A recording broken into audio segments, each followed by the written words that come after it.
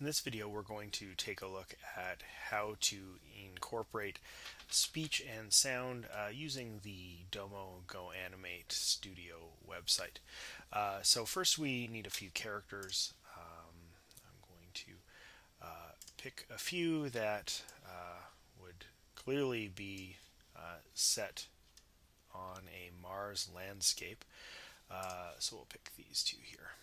Okay, uh, so again, I'm going to have to flip this character uh, so that they're actually speaking to each other. So uh, for a lot of this, you know, you want to start incorporating uh, different actions and things like that. So, but we'll just start with uh, some speech and other options using the text.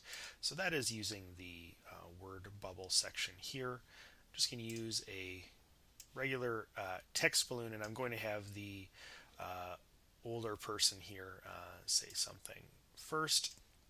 Uh, now, obviously, I can't indicate that he is speaking using this, so you're going to want to use the options to change the direction of this. Um, and I'm going to have him uh, say something uh, quite short. how did we get here?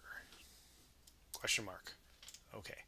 Uh, and if I don't like the, the length of this, I can uh, click on it, shorten that, move it down, and if I want, I can uh, make this larger, and then it'll sort of adjust the text based on the size of that. Um, now, one other thing that's kind of nice to do um, is for facial expression, you can pick talking when the characters are actually saying something. Uh, and then I will add on the scene. Now he's not going to be talking in this, uh, so I can just switch facial expression to default, and this is going to be what it started as. Now I'm going to have the uh, younger girl here um, say something. Uh, actually, I'll have her uh, start by thinking of something. Uh, I am going to put here, I should lie or I'll get in trouble. Dot, dot, dot. Uh, now that's a little bit small, so I can uh, enlarge this. And uh, sometimes, I mean, uh, you can do this with different characters. If particular characters have fonts that would identify their style of speech, you can also go down here to uh, pick a different font type for the for this. Uh, so I'm going to use this very difficult to read impact label. Uh, you can left align this. Uh, you can also uh, insert hyperlinks uh, and change the background color of this. So I'm going to go with a, a, yellow for her thought bubble for no particular reason.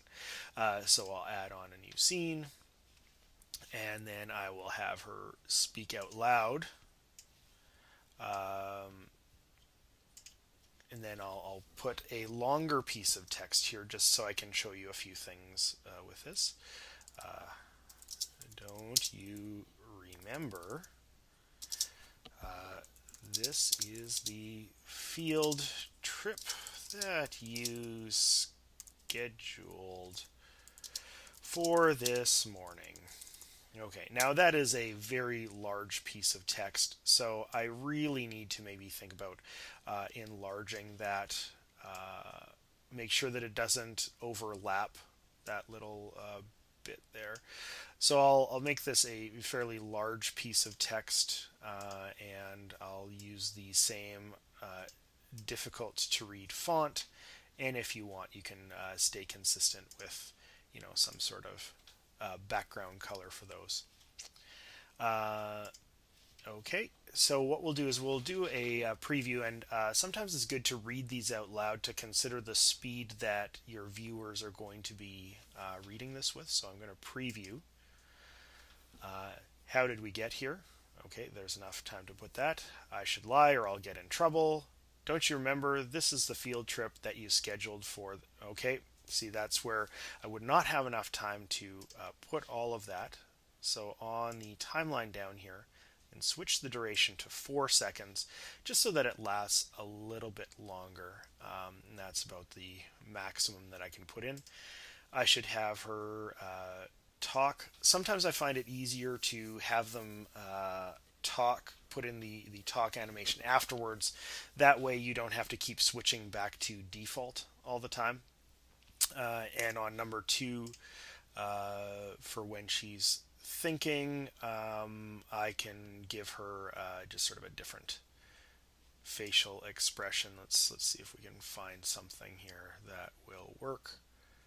Um, maybe I will have her confused. There we go. So just just a little something to add in uh, to underscore what's going on. Now to work with the sound in this scene, uh, what I'm going to do is I'm going to put in um, some voice sounds, although we can't actually have the characters talk.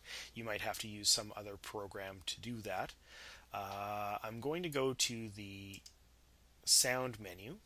Now, uh, the things that we get here are music, effects, and you'll notice that there's nothing in voiceover here, but if I go to the Domo section, uh, there are a few uh, different voices that I can put in here, um, but only for two characters. So uh, I'm going to have the uh, elderly person, um, maybe I'll have him talk with this voice.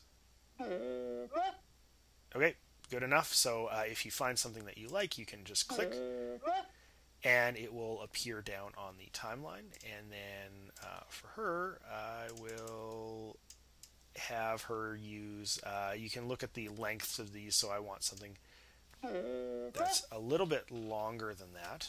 So I'm going to remove that sound. Maybe I'll put a few of, put a few of the a few of these in a row, uh, and it'll sort of look like this. So I'll preview.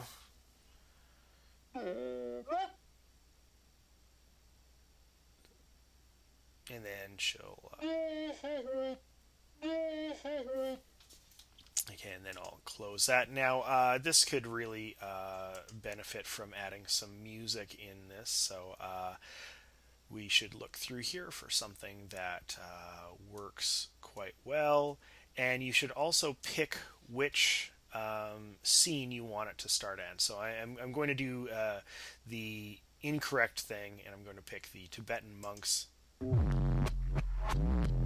sound there, and I'll click to put it on Okay.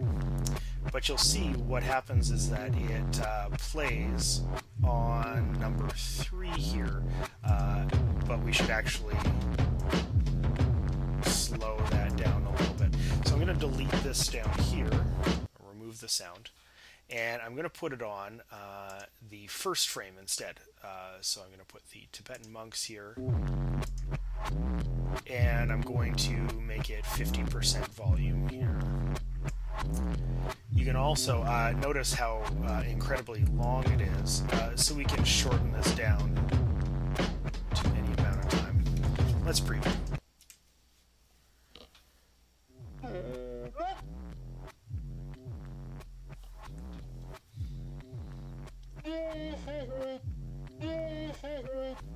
Okay, so we'll close that.